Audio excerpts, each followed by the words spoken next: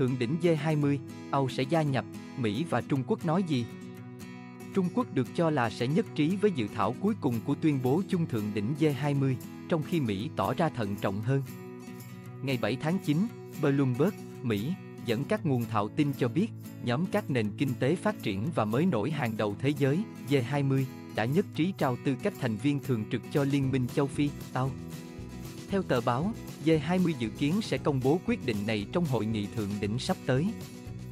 Nếu thành hiện thực, kịch bản nêu trên sẽ đưa Âu, khối có 55 quốc gia thành viên, lên vị trí tương đương với Liên minh châu Âu, EU.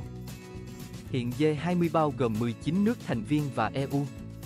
Ngoài ra, Hội nghị thượng đỉnh G20 được tổ chức vào cuối tuần này ở New Delhi cũng mời 9 nước không phải thành viên, bao gồm Bangladesh, Singapore, Tây Ban Nha và Nigeria, cùng các tổ chức quốc tế như Liên Hợp Quốc, Tổ chức Y tế Thế giới, WHO, Ngân hàng Thế giới, WB và Quỹ tiền tệ quốc tế, IMF, tham dự. Trong một tin liên quan, trả lời câu hỏi về khả năng đạt tuyên bố chung tại sự kiện, điều phối viên về truyền thông chiến lược của Hội đồng An ninh Quốc gia Mỹ, NSC, John Kirby nhận định, tìm kiếm đồng thuận giữa các quốc gia G20 giống như việc có được 20 chiếc đồng hồ kêu cùng một lúc. Đồng thời nói điều này rất khó xảy ra song Mỹ vẫn tiếp tục hy vọng. Về các mục tiêu chính của hội nghị thượng đỉnh G20, ông Kirby nêu rõ, một trong những mục tiêu chính của chúng tôi khi tham gia G20 là giúp định hình lại và mở rộng quy mô các ngân hàng phát triển đa phương như IMF, WB, Chúng tôi biết rằng các tổ chức này nằm trong số những công cụ hiệu quả nhất để huy động đầu tư minh bạch và chất lượng cao ở các nước đang phát triển. Đó là lý do tại sao Mỹ đã ủng hộ nỗ lực lớn hiện đang được tiến hành nhằm phát triển các thể chế này để chúng có thể đương đầu với những thách thức trong tương lai.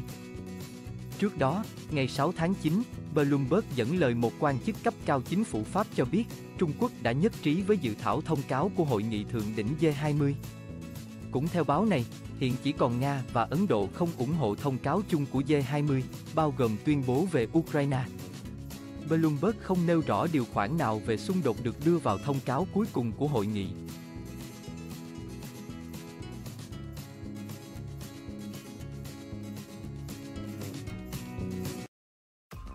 Cảm ơn các bạn đã theo dõi video, đừng quên nhấn đăng ký để ủng hộ đội ngũ kênh. Hẹn gặp lại trong các video trước theo.